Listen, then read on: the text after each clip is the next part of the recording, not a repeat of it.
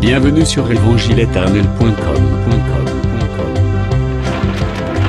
La rubrique Pasteur et thème vous invite à suivre en ce moment le docteur Albert Kalokabunda, Kabunda, ministre de l'Évangile éternel.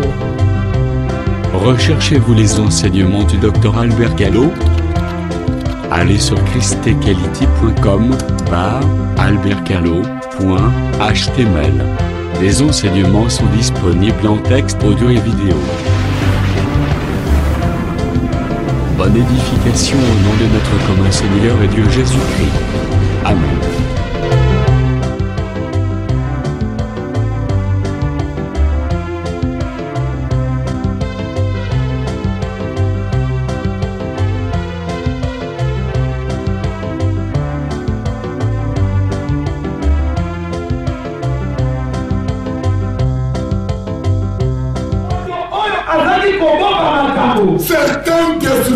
de l'œuvre de Dieu.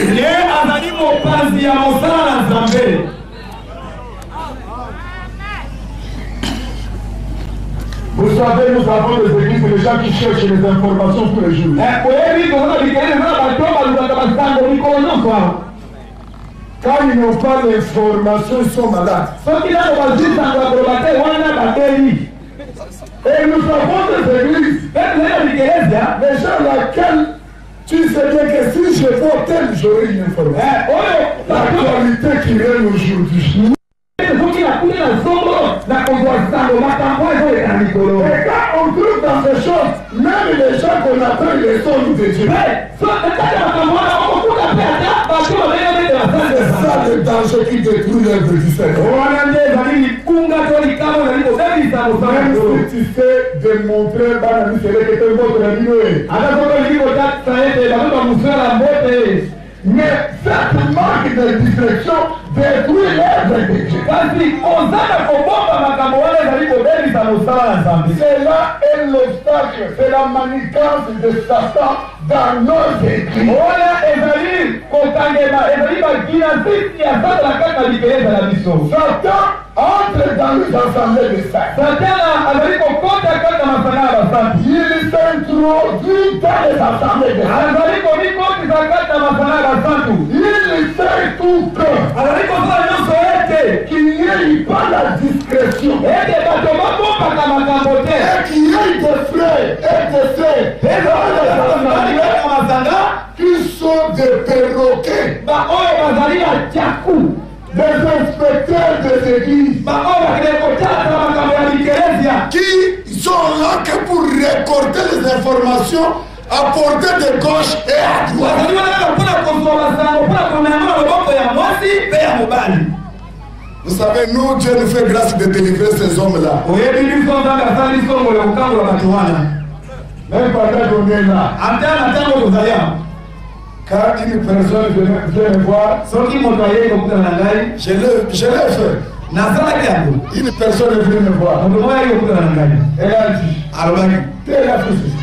Montesolo very marriages. I will let like very marriages. Montesolo very neighbor. Jadi setimbali shots. Nabi kan kamu malah. Mais ne faut pas dire kan kalau di langit dia keluarga. Mais faut pas vraiment dire kalau di langit dia. Quand j'ai vu la personne. Jangan lama ni mutiara. J'ai lu. Nabi tadi. Tel. Montesolo. Alobaki lo. Alobaki lo.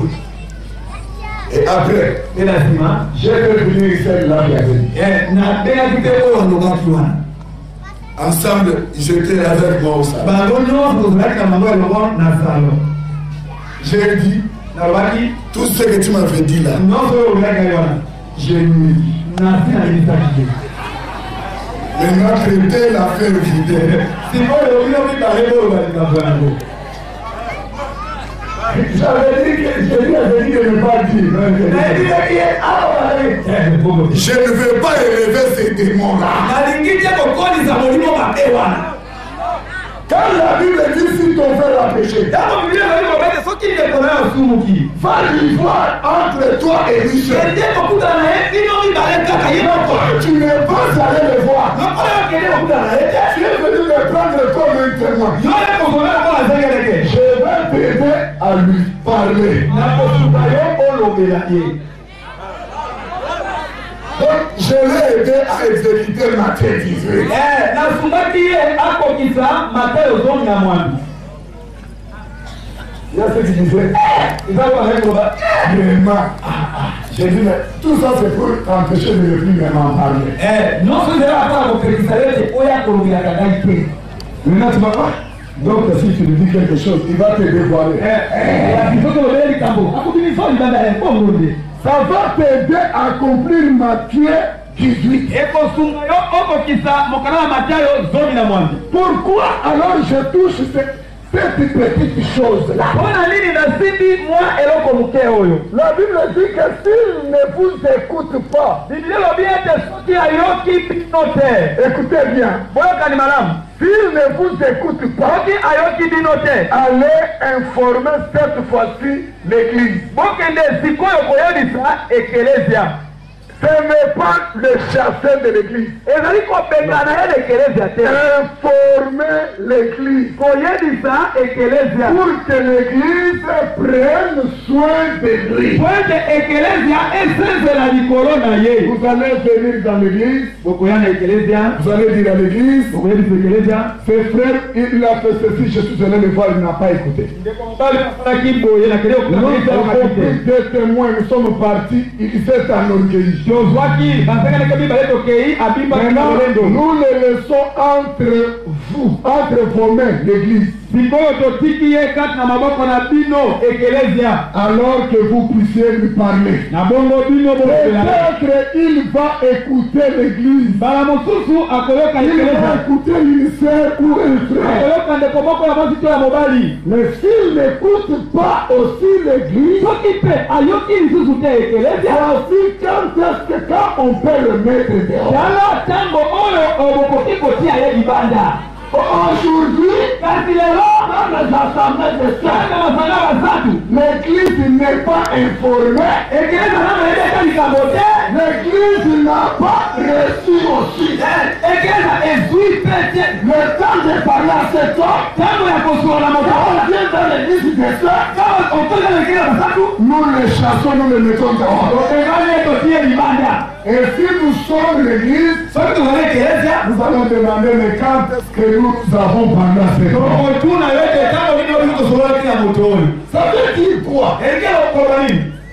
dans une assemblée de saints kati na lisanga ya basantu un frère ou une sœur ekomoko ya mwasi ya mwasi moi je ne crois pas ngai nazalaki matin que je peux prier avec un frère qui pêche deux fois ete nakoki kobondela na ndeko moko mpo nazali kosumuka mbala mibale non te non te dans notre évangile kaka sangalama na biso un frère qui a péché deux fois ndeko mobali oyo asuki balandi ne peut pas être dans notre église akoki kozala te kati na ekeleza na biso quelqu'un un frère qui pêche deux fois eh, comment nous pouvons prier avec lui ndenge tokobondela na ye elongo c'est impossible ekoki kosalema te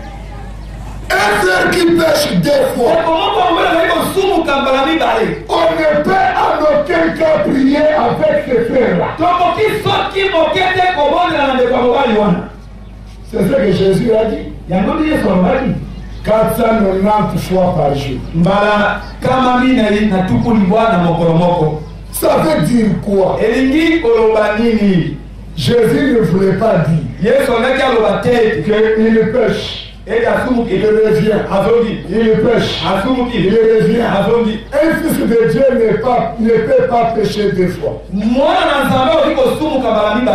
Parce que la semence de Dieu est en lui. Comment Comment il peut pécher deux fois Mais c'est impossible. Pourquoi Quand je fais mal, Je pars contre bien-aimé Manou. Je viens. Je dis à Manou. Manou. Manou. Pardonne-moi. Quand Manou me pardonne. Quand il me pardonne. Mon péché est justifié. Je suis considéré comme quelqu'un qui n'a jamais péché. Est-ce que vous comprenez hein? Et si je pêche, je ne pas que j'ai péché encore. Ce que nous appelons encore là, oh, c'est une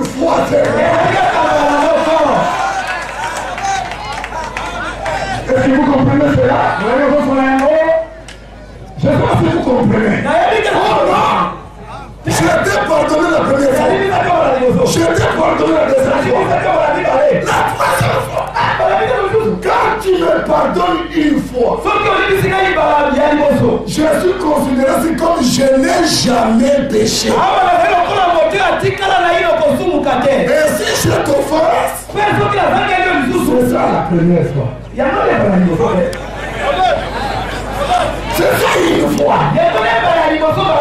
pourquoi tu es dans le Seigneur. Tu es Il ne pas.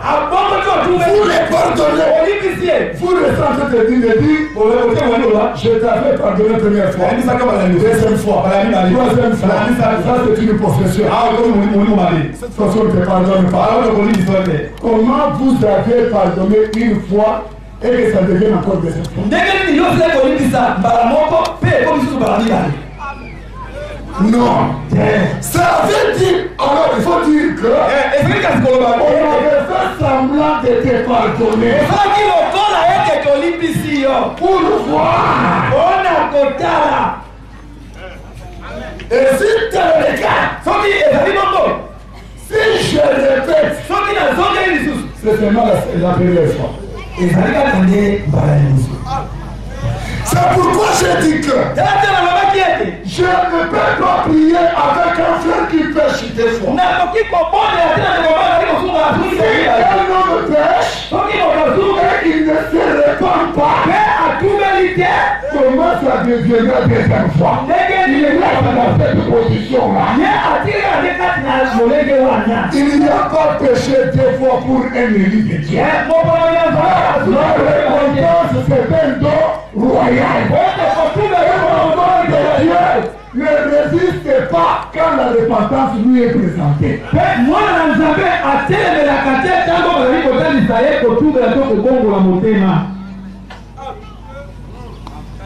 mais vous quand vous pardonnez kasi bino soki bolimbisi vous gardez dans les archives bobombi yango kati na babuku il a péché hier asungaki lomi oleki quand il revient ntango ya kozonga lisusu il a péché encore asumuki lisusu on ne pêche pas encore dans la maison du père basumukaka lisusu te kati na ndako ya tata Mais si tu pêches une fois, deux fois je prie toujours avec toi. C'est-à-dire je couvre le mal.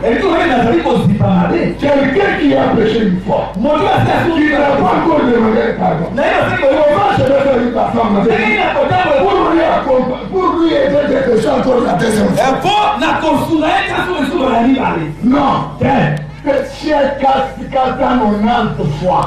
osuluka makama limwana tu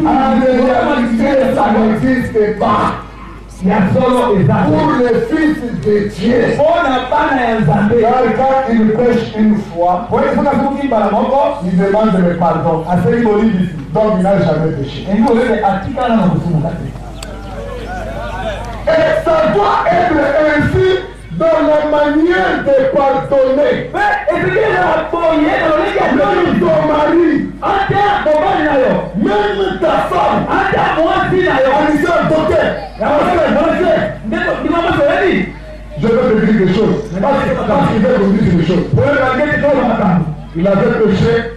une fois. Après ah, nous, on a Donc il l'a répété encore. Il m'a demandé le pardon. Je... Ah, ah, Cette fois-ci, j'ai trouvé que c'est trop. Bah, bah, j'ai pris mes bagages et je suis rentré chez nous. Pourquoi il est rentré chez eux Pourquoi il est rentré chez eux que la personne a péché. Ça n'existe pas. Cette manière, dans votre manière de ne pas pardonner, est un obstacle dans l'exaucement débrouiller lolenge mabe wana ya kozala kolimisa ezali epekiseli kati na biyano to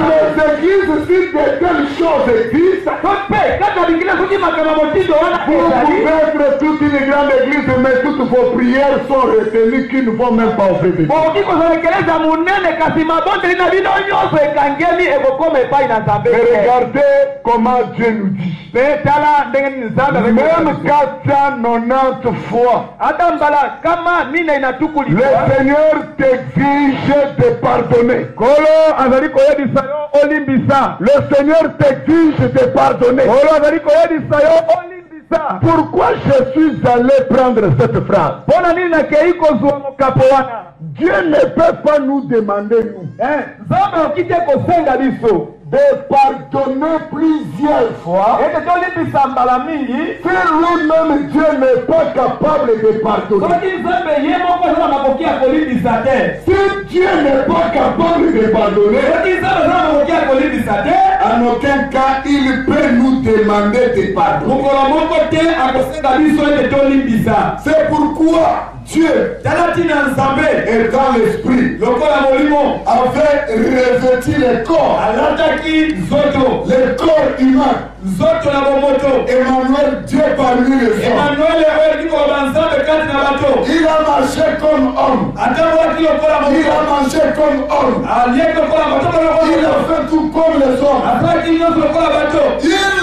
sait comment l'homme fonctionne.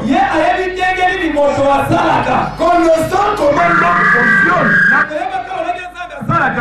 Dieu connaissant comment l'homme fonctionne, c'est pourquoi il a dit à l'homme, parce que c'est que l'homme a en lui ses capacités. Il dit à l'homme, pardonne chaque fois qu'on te fait le mal.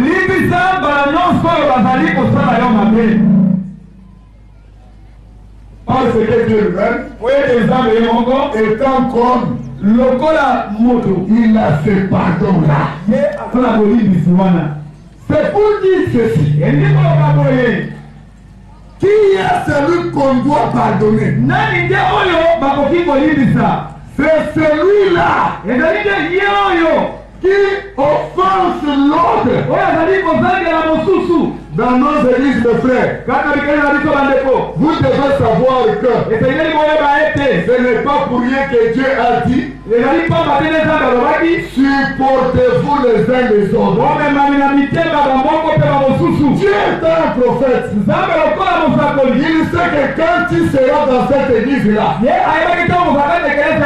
tu vivras des choses qui peuvent te faire du mal. C'est pourquoi il t'avait préparé en disant supportez-vous les uns L'église ne veut pas dire un lieu parfait. Si le Seigneur dit, pardonnez vous les uns les autres. Le Seigneur savait qu'il y aura des gens qui vont vous faire du mal dans des églises.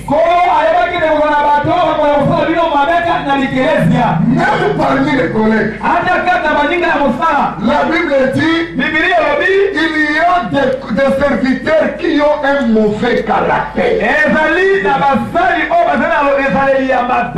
vous pouvez vous retrouver dans une église. Oh, vous êtes dans un collège. L'autre a un caractère mauvais. Il y a même ceux qui confondent l'église avec sa maison. Ils prennent l'argent de l'église avec l'argent de sa maison. ezali kosisana na mobulu kati na ekeleza na misolo na ye mpe na misolo eza ya ndako na ye dix fois la présence d'un autre comme ça le chaîne oyo ezali komona bozali ya moto mosusu mpo ezali kotungisa ye quand il voit que l'autre vient soki amonike moto mosusu wana yei il sent quelque chose de mauvais yoki eloko moko ya mabe kati na ye de telle personne existe même parmi les serviteurs bato ya ndenge wana bavaka mpe aza kati ya basali na nzambe qui craigne même qui craigne même la présence présence de l'autre. Il peut commencer à inventer des choses contre cet homme-là. Seulement pour qu'il soit éloigné de eh, La Bible reconnaît qu'il faut savoir comment vivre avec de tels serviteurs. Donc une fois qu'on a ajouté Timothée à Tchopo, il fallait qu'on l'enfant même à Kabondo par exemple. Maintenant, l'argent, les loyers, il y aura encore un problème là. Alors, il y a ce qui dit maintenant il va il verra comment jeter hein? akomona des cieux des saints appartient à jésus eza eh, à yesu n'appartient pas à un individu. Eh, Qu'il soit pasteur ou non. Amen. Appartient à Jésus. Eh,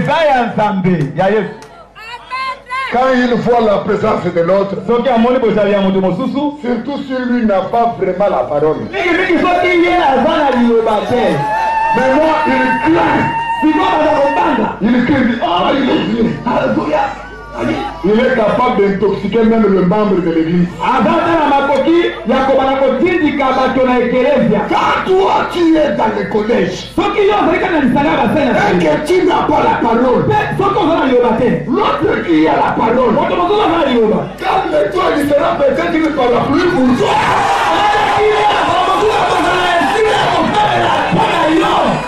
Mais What is your féminité? Un jour, Dieu va te dévoiler pourquoi tu l'as chassé.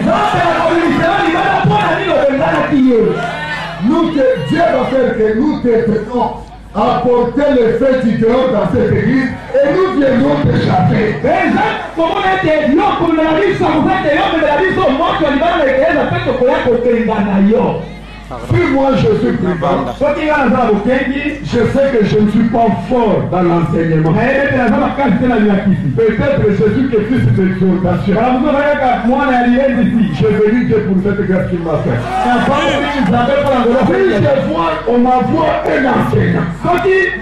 namoni batindeli ekolakisi mokosepele konta nakosepela tres konta nakosepela makasi recommande je fais kazeli nakosala chaque fois qu'il prêche mbala nyonso nakosaoa la parole soki nazali kati na liloba je commande cette parole nakobanda kolobaakosunga tokosimba liloba et je dis amen à cette parole eh, nakondima liloba wana Il y a des serviteurs qui ont un caractère difficile et un mauvais caractère.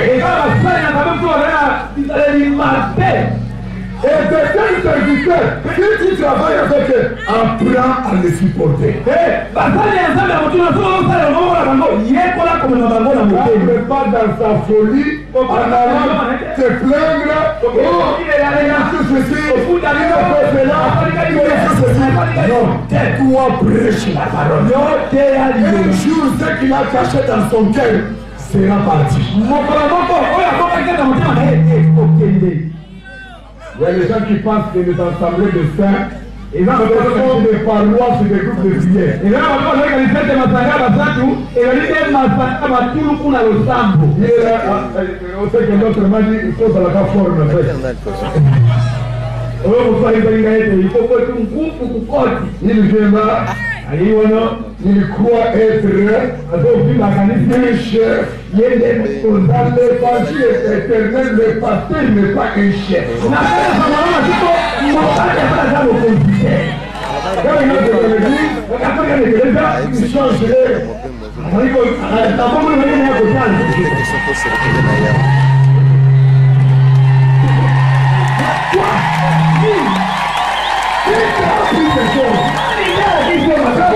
ṣe ti ṣe. Ẹ̀rẹ̀ rẹ̀ kò wà. Ọ̀fà tẹ ń lọ wù.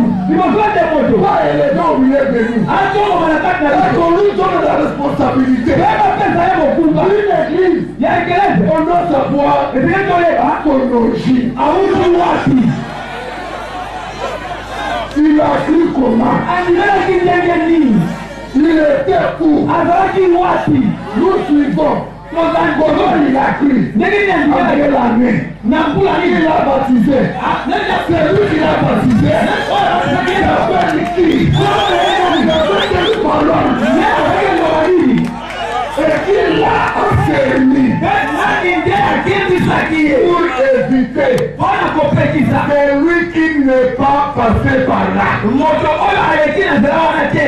Parce que sinon, vous, prenez quelqu'un, vous l'avez ramassé où Oh, vous voulez ah, il fait la confusion que le prophète qui a dit. Dans l'évangile éternel, l'homme de Dieu, c'est un domestique de peuple. Quand vous êtes élevé comme on vient de le faire, tu changes de côté.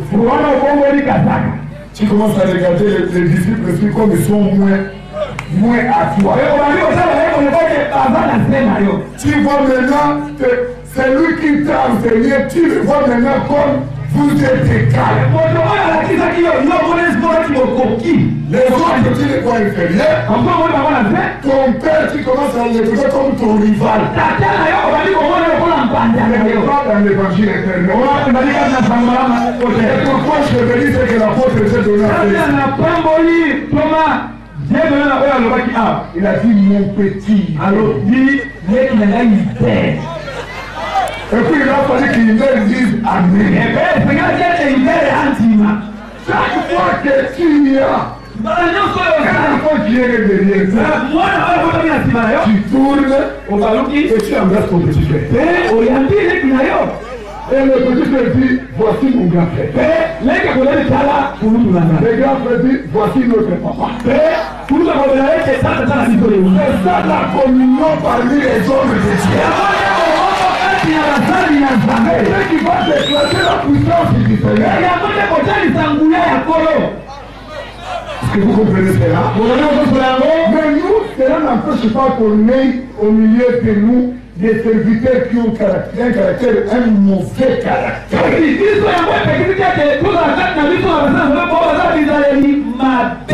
dirige une église. Par exemple,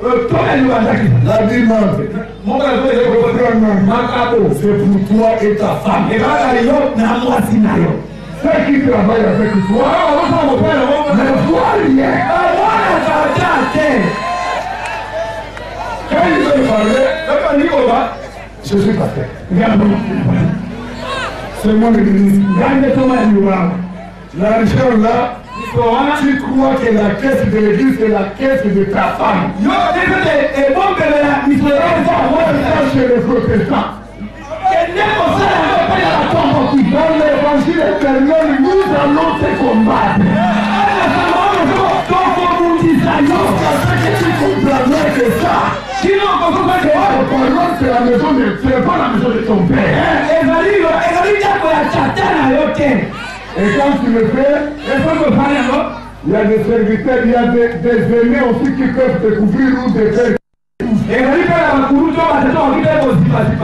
À ce cas, on met 1000. Tu lui donnes 500. Toi, tu gardes le reste. Ceux qui travaillent avec toi ne savent ni pas la comptabilité de l'église. Bah, oh, bah, ça, ça, ça, ça, ça, ça, ça, ça, ça,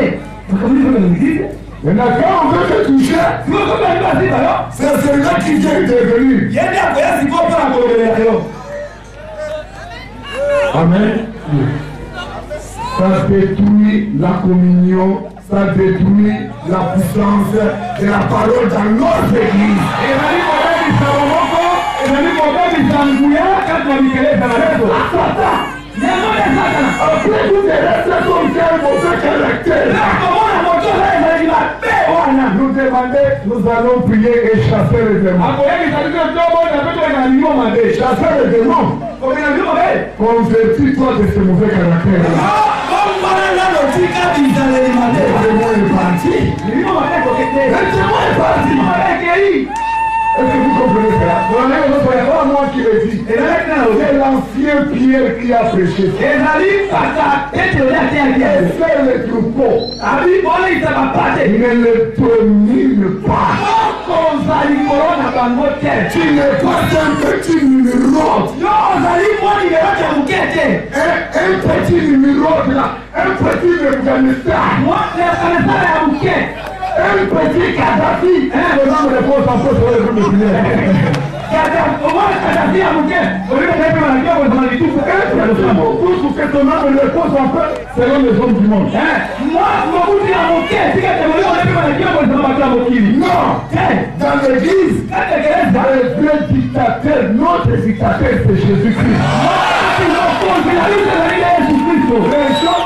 Les les serviteurs qui ont le mauvais caractère.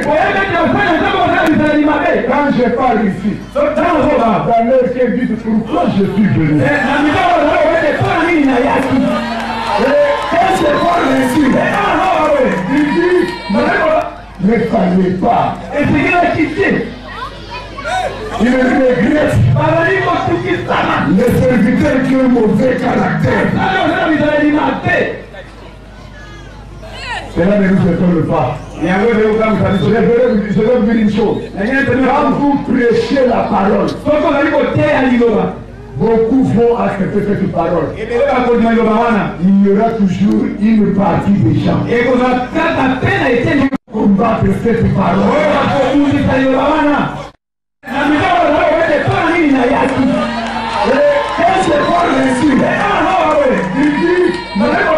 ne parlez pas. Et c'est qu'il a quitté. Il est regrette. Les serviteurs qui ont mauvais caractère. Cela ne nous étonne pas. Je vais vous dire une chose. Quand vous prêchez la parole, Beaucoup vont accepter cette parole. Eh il y aura toujours une partie des gens qui vont combattre cette parole. Oh, Mais Heureusement, Dieu nous a fait des lionceaux. Les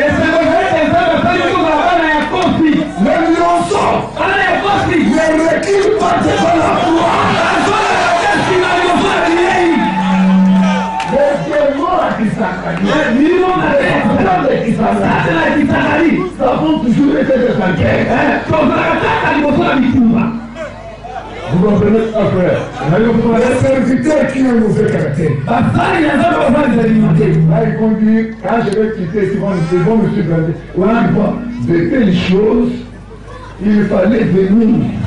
mais le dire à côté olufano à côté tellement na kopisa bakola na ye makambo ya ndenge oyo esengeli koya koyebisa ngai na pembeni to tokolo na pembeni wa chansene nazali kolakisa chansene le ministre okisola nazali kolakisa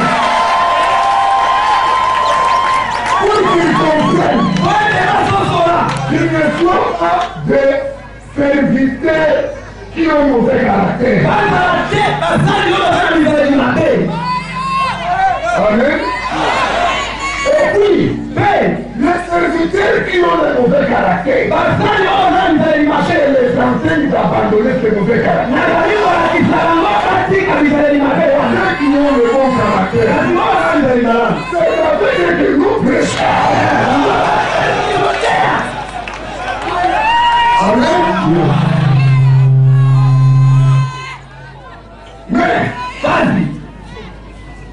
Dieu nous a fait grâce de dire que même si, je vais dire quelque chose de mes, mes collègues, oui, si un serviteur ou du quand tu prêches la vérité,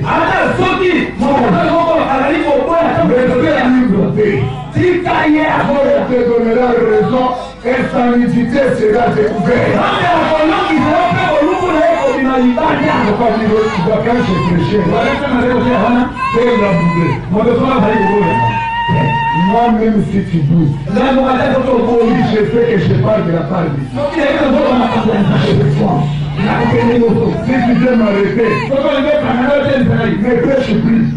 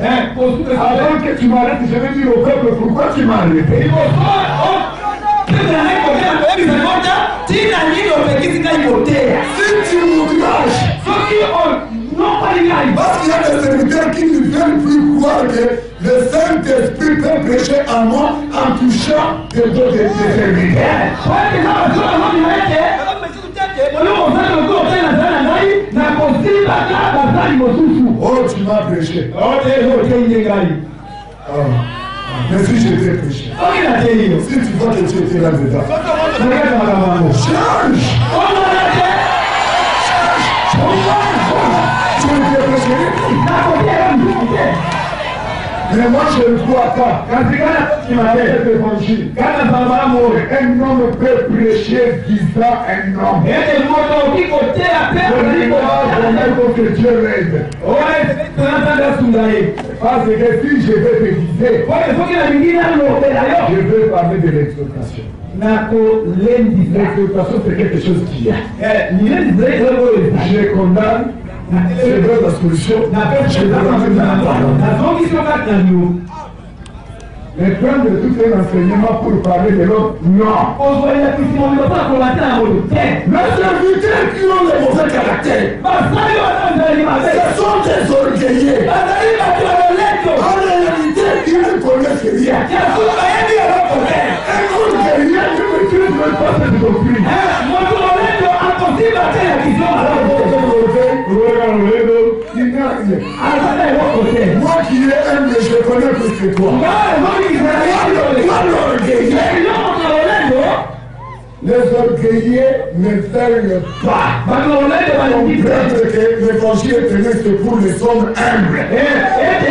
mọ̀ọ́mọ̀ tó lọ ní pàpà tí wọ́n sábò ní kìtì sá.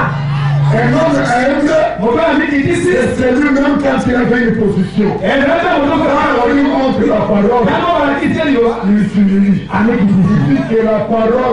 Àlọ́gbẹ́ tẹ̀lé wa. Èkó ìsìnká. Wọ́n ṣe ìfọ̀rẹ́. Báyọ̀ ni wọ́n.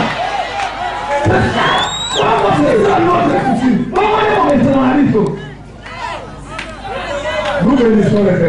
Wọ́n mọ̀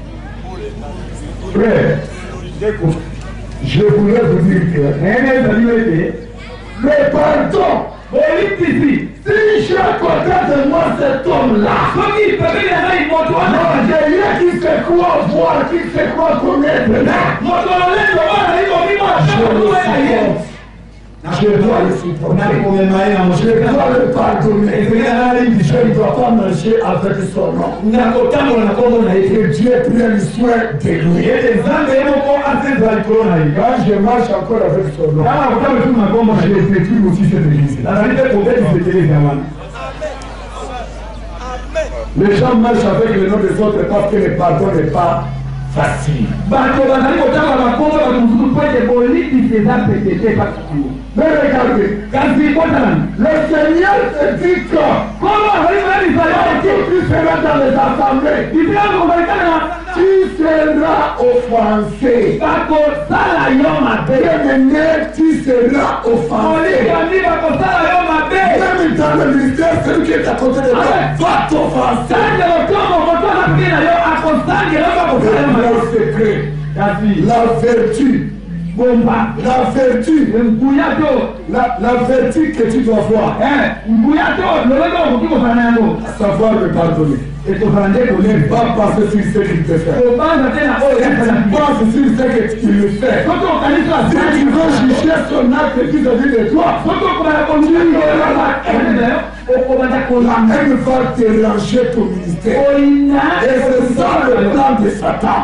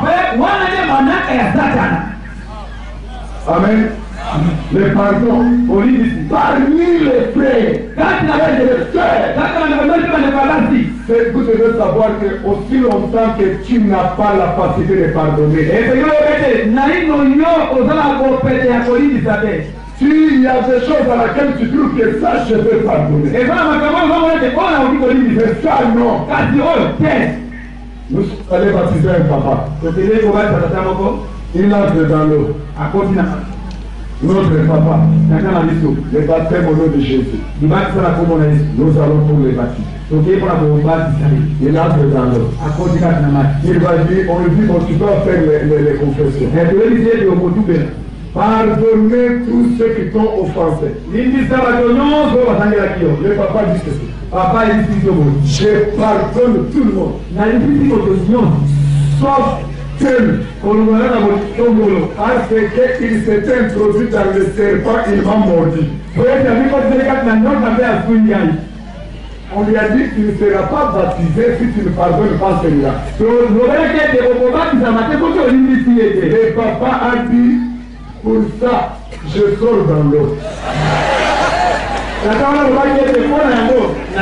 je sors dans l'eau C'est ce que je vous dis mo bá tẹ ní ìjàmbá kí mo wà ní. ìlàjì àlọ́bí èyí lè tó kíkà lọ.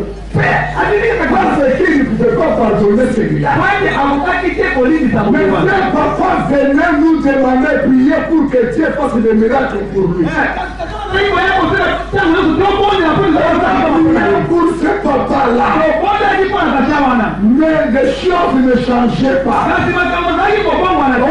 mẹ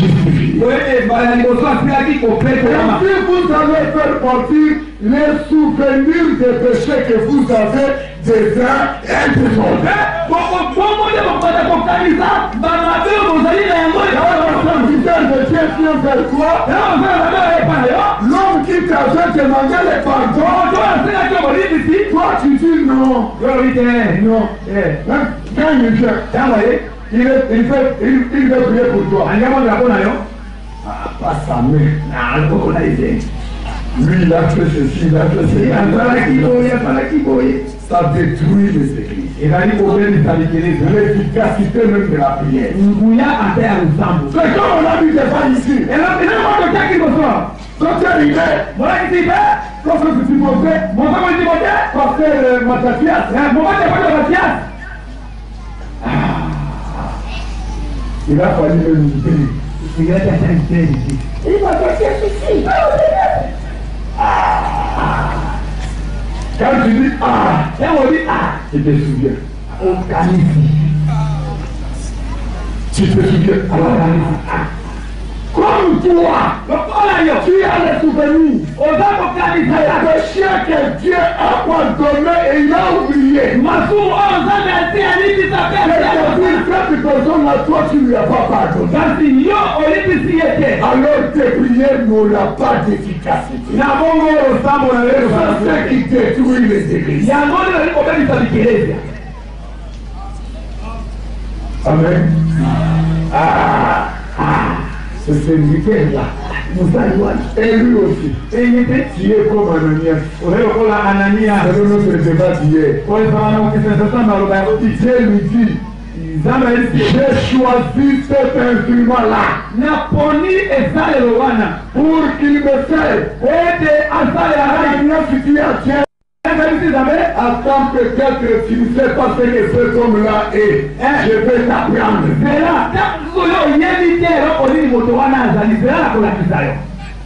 Cet homme qui est présenté devant toi. Mais tu vois que ta prière est de une grande efficacité. Parce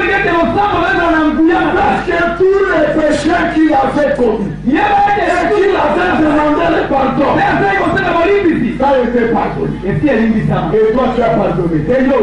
Celui qui était ici, il n'a jamais commis un tel péché. L'homme qui a le livre de, souvenirs des péchés des autres.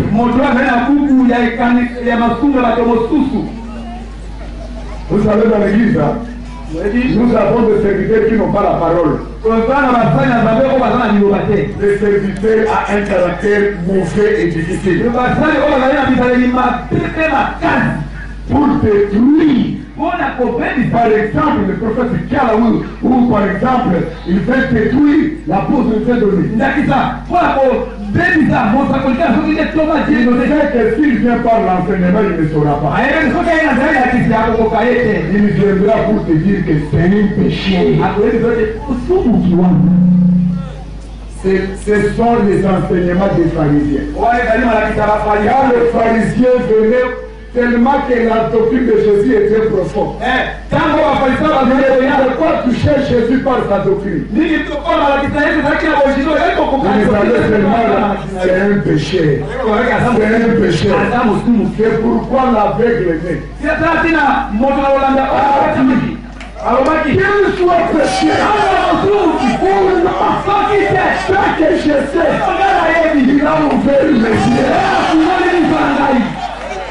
c'était pour décourager. Les prédicateurs de pécheurs déjà. Qui hein? sont là, qui savent que pour écouler thème. Que je répète le péché qu'il avait commis hier. Comme hein. on va l'éclater. C'est toujours le serviteur d'un caractère difficile et les mauvais fils qui n'ont pas d'idence de caractère ce serviteur-là mingi mingi ndenge basali oyo baza na bizaleli makasi mpe mabe mingi mingi baza na likabo te Et l'enfant s'est tué. Moi, Dieu oh, est dans une église. Dieu les tient dans sa tête. Et mes serviteurs qui sont là-bas, eh, qu'est-ce qu'ils vont dire Elles vont dire quoi ce que, ce que moi je fais là est aussi mon oyo ngai nazosala bango mpe basalaki ezali satan nde Pourquoi que ces serviteurs-là est justifié Pour bloquer ta prière. Dieu ne se répond pas de ses dons. Quand Dieu appelé, il est déjà appelé.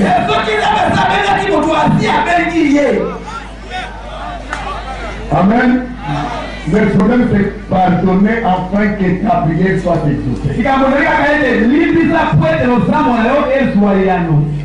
Enlève dans ta tête les oppostes que tu as connus de cette terre-là de ta famille ou de qui que ce soit mabula oyo oyebaka yandeko ya mwasi wana ya libota na yo soki na moto soaise cela longola yango aussi longtemps que tu gardes ça pote na yo ozali kobatela yango aucun obstacle même si on prie pour toi rien ne pourra se faire ezali esekiseli pote ata soki bakobondela mpo na yo eloko moko te ekosalema amen ça c'est nous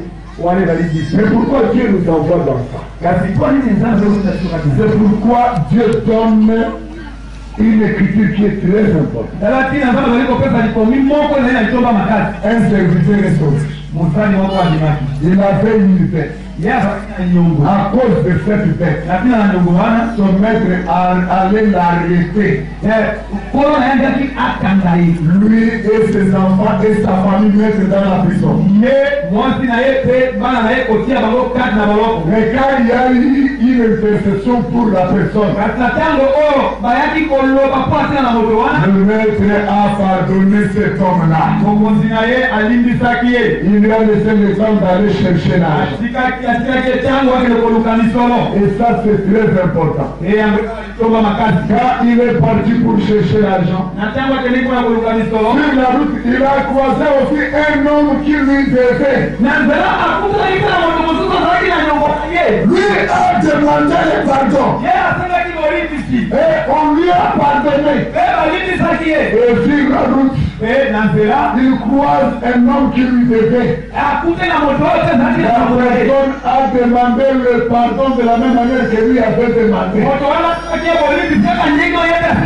Il a dit, moi, je ne t'ai pardonné jamais. Il a pris cet homme, il a mis dans la prison. Alors nous, on a été des passages. Nous avons dit ce qu'il a fait. Nous sommes allés dire aux maîtres. Le maître a fait appel à cette personne. Oh, moi, je t'ai pardonné. À ton tour, tu as refusé de pardonner. Alors si tel est le cas, même sort.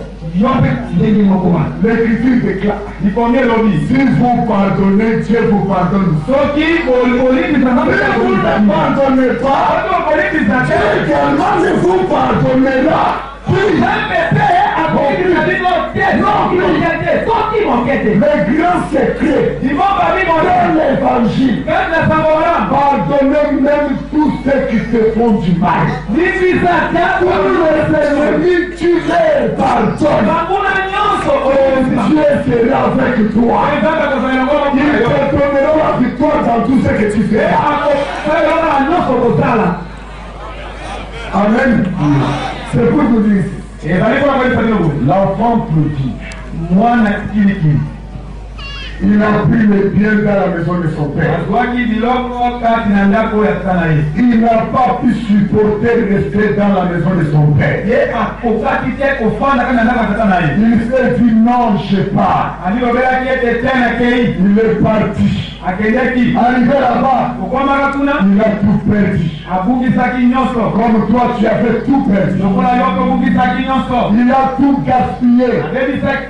Il a tout perdu. Maintenant, il est resté dans la souffrance. Bien-aimé frère, quand tu trouves ce que tu as fait un mal, tu as un péché, tu es dans le mal, n'ayez pas honte de reconnaître que dans la maison de mon père, il y a un grand pardon. Il y a tout ce que jesesiel dehors mille fois on vous est constaté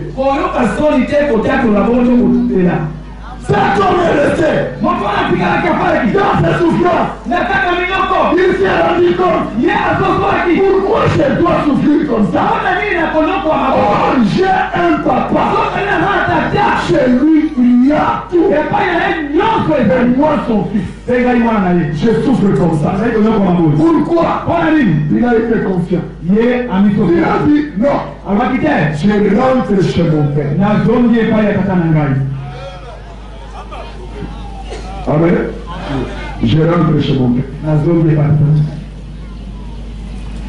bien aimé oligami l'écriture dit jésus n'a jamais rejeté ses enfants yesu atikala kobwaka bana na ye te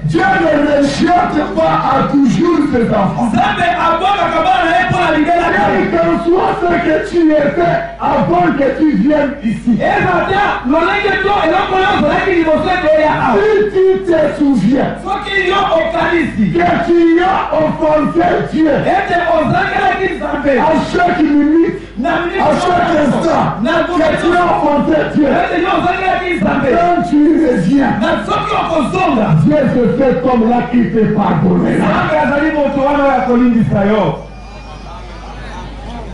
À chaque minute, à chaque instant, quelle qu'en soit la gravité de la chose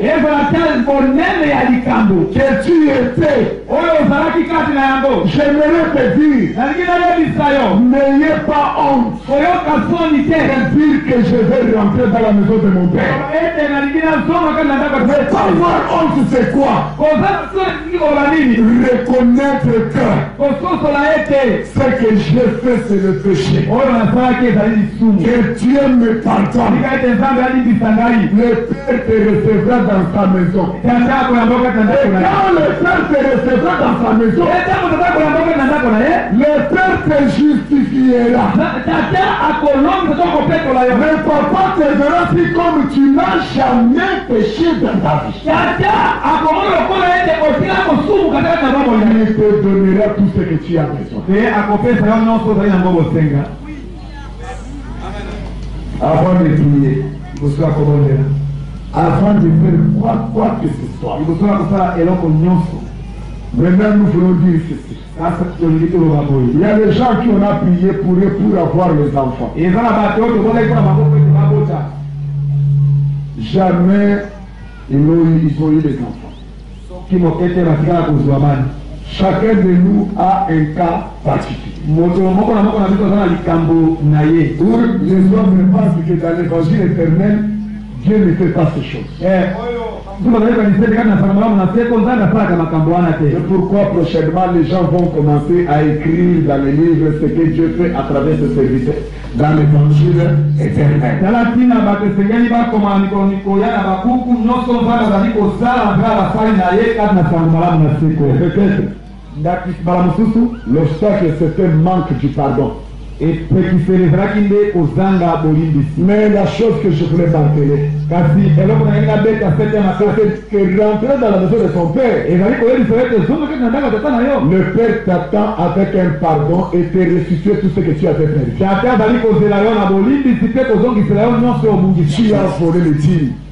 tu as volé de cette flamme de que tu as été.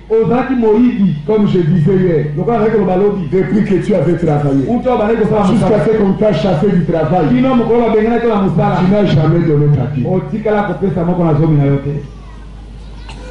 L'offrande de tu n'as jamais donné. Quand Dieu trouve que le travail que tu avais, soki nzambe amoni ete mosala ozalaki na yango c'est le pourson qui ne servait pas à Dieu ezali nde bangulu nde oyo ezali kosalela nzambe te si le démon demande où aller eh, soki bimu mabe baseli bakende wapi le démon dit envoie nous dans le travail de ces frères là bimu mabe ezali eyebisi ete tinda biso dieu regarde dieu regarde dans ton travail la dit n'était pas donné eh, nzambe atala mosala mi moko nazolo epesami te il dit le pourson entré là-bas alobi bangulu bokota kuna allez et le travail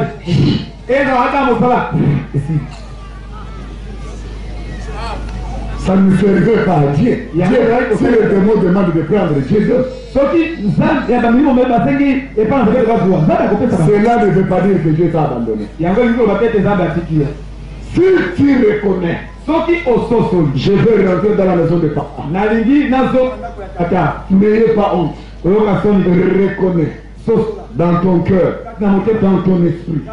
Demande le pardon. Même si tu as fait ça, il y a de cela 100 ans. Le Seigneur va te pardonner une seule fois pour tout et il te ressuscite tout ce que tu avais fait. Amen. Qu'on ne te dise pas que, que le péché de ta mère le péché de ta grand-mère, le péché de tes prêtres. Eh, non, l'âme qui pêche, c'est celle qui mourra. elimo oyo eh, esumukaka yango nde ekokufa si tu pêches soki osumuki tu reconnais ososoli dieu t'accepte nzambe andimi yo il te restitue tout ce que tu avais fait akozongisela nyonso obungisaki amen yeah.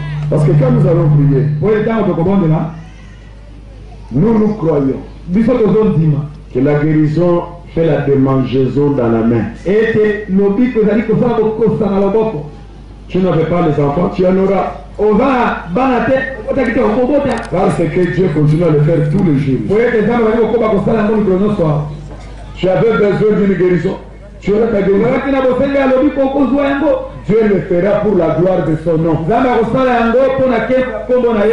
pas à cause de l'homme. Eh, tu étais habité par les esprits, les esprits vont Dieu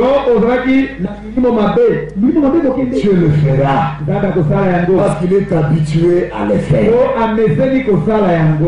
Il y a ceux qui disent eh, eh, mais il est habitué à le Il s'appelle Jésus.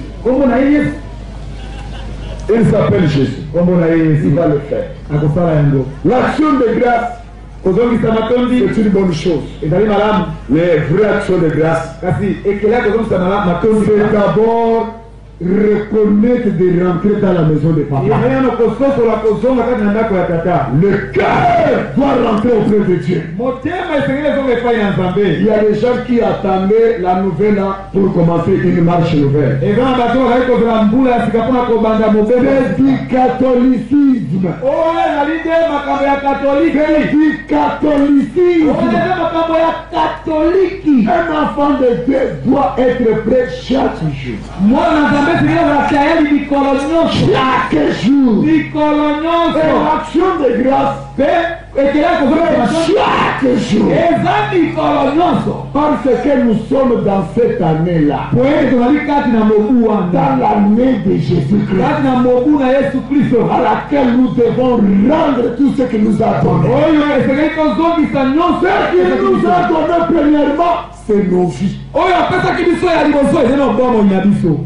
Vous pouvez mener des chèvres, des chèvres, de l'argent, mais si vos cœurs ne sont pas encore rentrés, Dieu n'est pas un magicien. Ça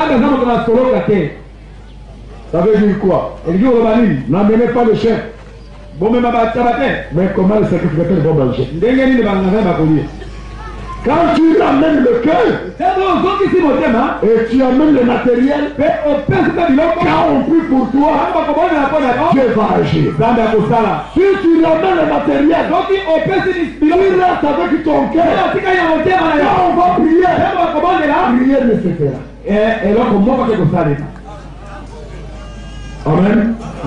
Tu crois ah, que Dieu peut faire des miracles pour lui. Et alors mettons-nous debout, oh, nous allons prier parce que Dieu doit faire ça. Donc on va la fête dans la hein,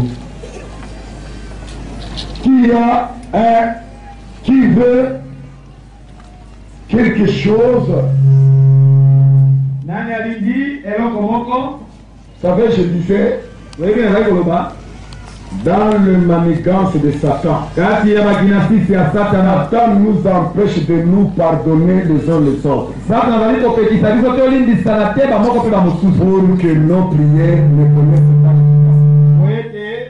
Dans le sang, on a dit soyez en Angouyate. Je veux donner un témoignage à pour il n'y a pas longtemps. Na, outi, on peut peut-être me croire à Tchopo. Dans notre église de Paris, à Montreuil. Na, église à Paris, à Montreuil. Une maman. Maman Moko avait compris que Dieu n'est pas seulement un Dieu de loin et de près, c'est aussi un Dieu de loin. C'est pour vous donner qu'un seul témoignage. sœur Augustine. Sa fille était à Kinshasa. Elle est entré dans le mariage. Depuis ce temps qu'il est entré dans le mariage, jamais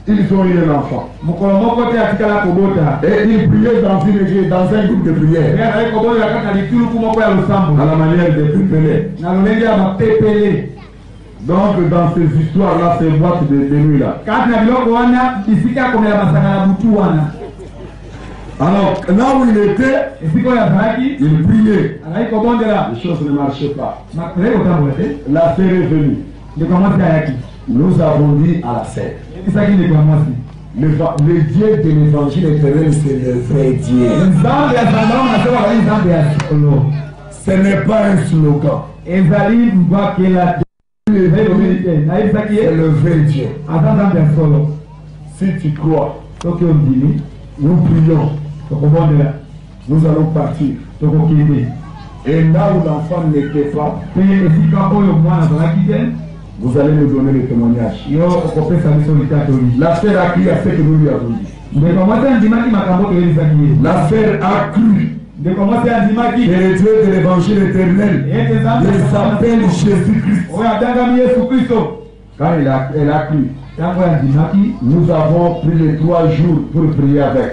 Après la prière, nous sommes partis.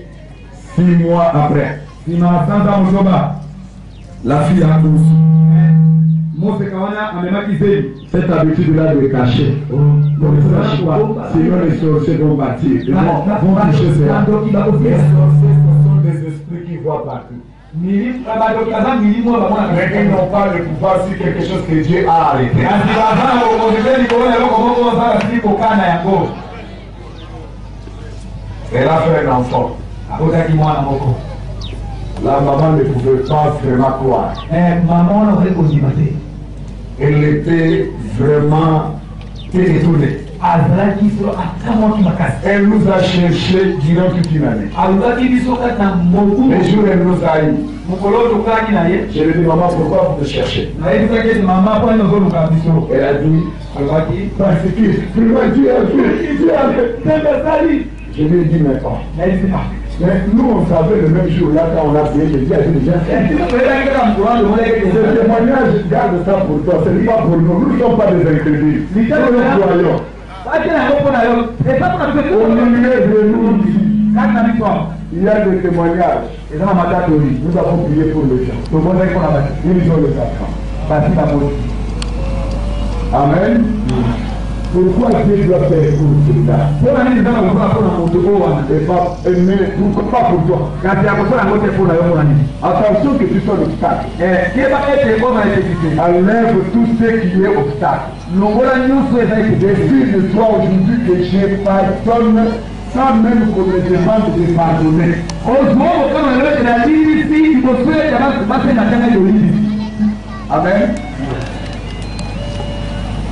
Parce que si je demandais aux gens de venir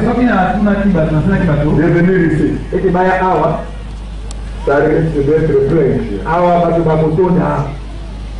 N'est-ce pas Mais nous allons prier pour des cas aujourd'hui particuliers.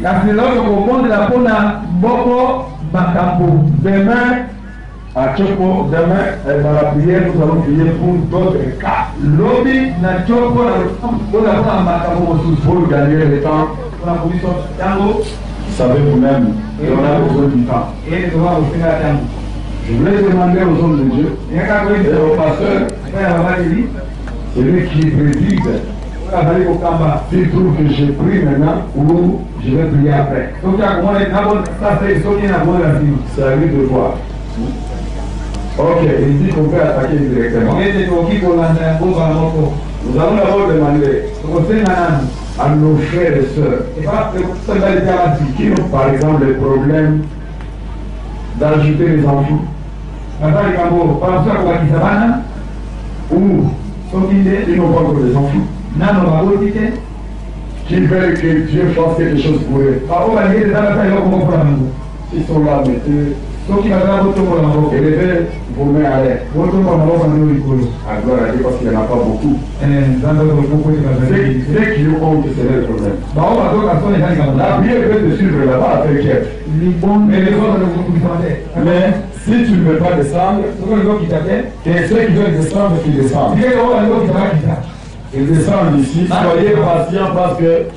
on doit invoquer Dieu faire des choses. Amen. Nous invitons ceux qui ont des cas encore particuliers. Par exemple, celui qui a une maladie qui a fait des, des années des années, le médecin n'arrive pas à résoudre ce problème.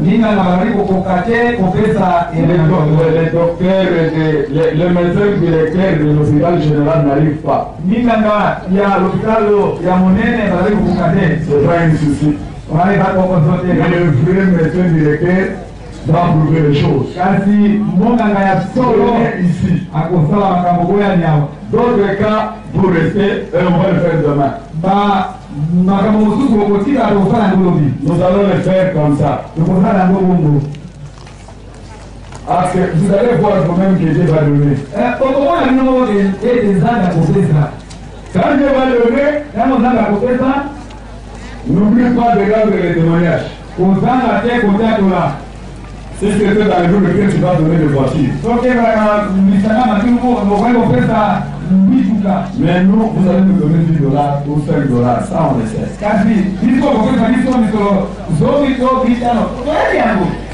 C'est pas grave, on n'est pas venu servir pour le prendre. Et allez, quand vous vous allez vous faire l'entendre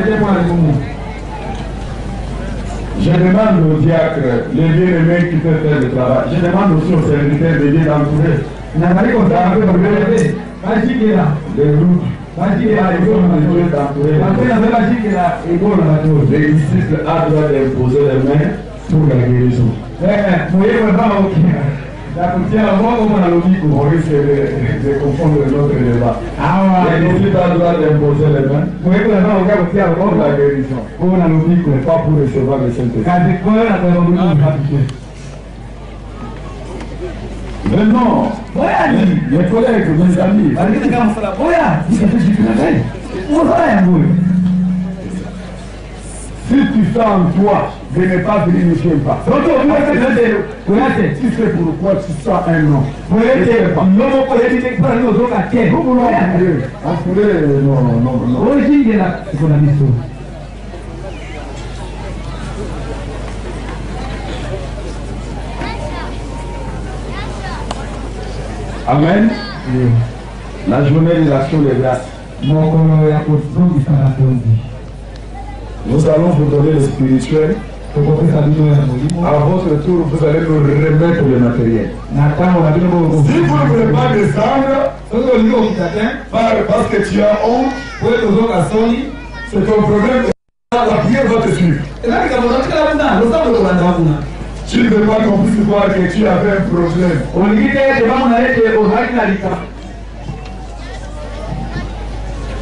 D'autres cas, nous voulons ceux qui sont malades et ceux qui ont seulement le problème d'avoir des enfants. Nous ne savons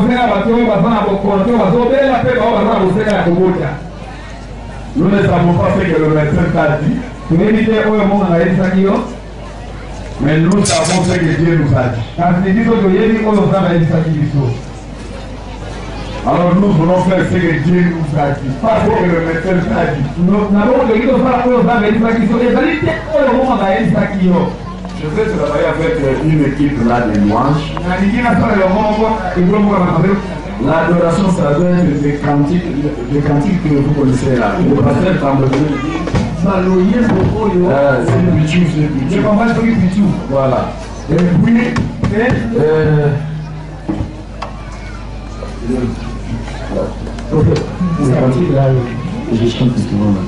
zangu ozali moto te kolo na nga oza moto te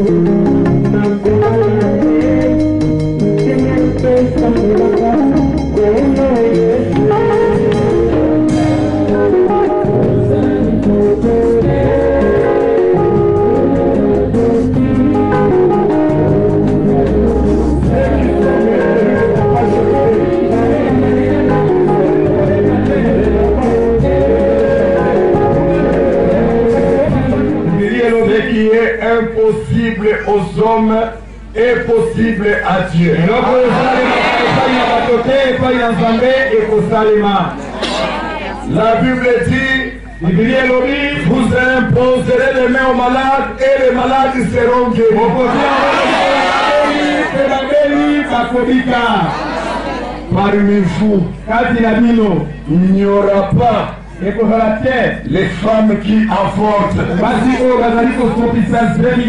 Amen. Amen. C'est-à-dire, pour ceux qui sont dans le Seigneur, bah ils ont la promesse de mettre au monde.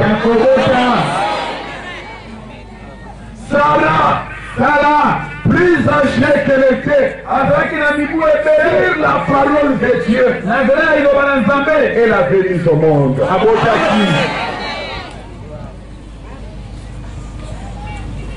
Maintenant, vous allez rester calme. Les hommes de Dieu vous vont élever la voix. Il y a ceux qui sont malades par le Il y a ceux qui veulent avoir les enfants. Les hommes de Dieu vont élever leur voix.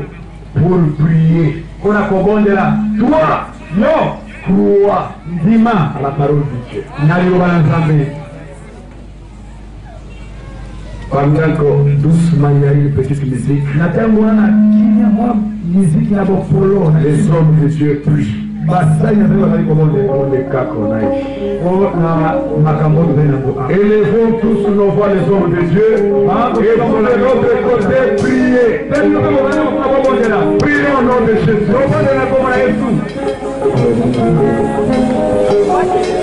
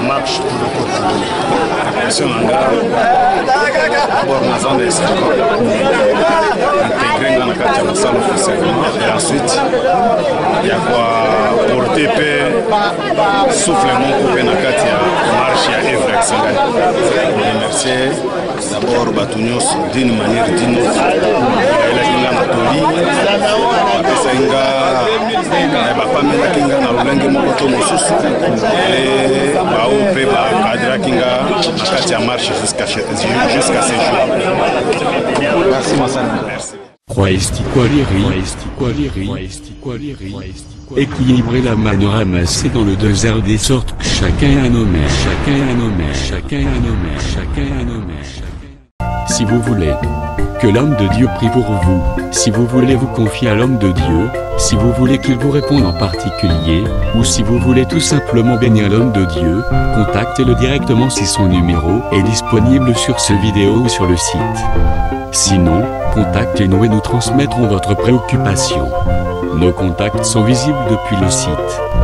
N'oubliez pas aussi, en tant que chrétien, votre devoir d'évangélisation. Venez évangéliser avec nous en soutenant financièrement cette œuvre évangélique, Christ Equality Foundation.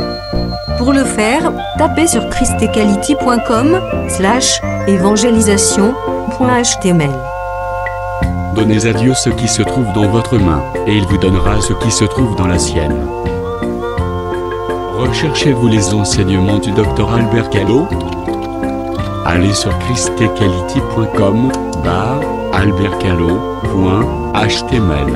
Les enseignements sont disponibles en texte, audio et vidéo.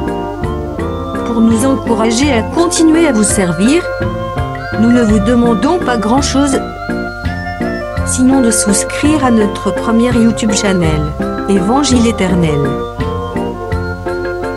Puis souscrivez ensuite à notre seconde YouTube channel, Christ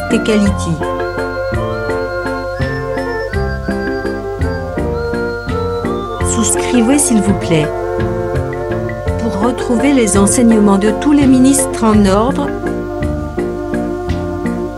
allez sur évangile ou sur christequality.com.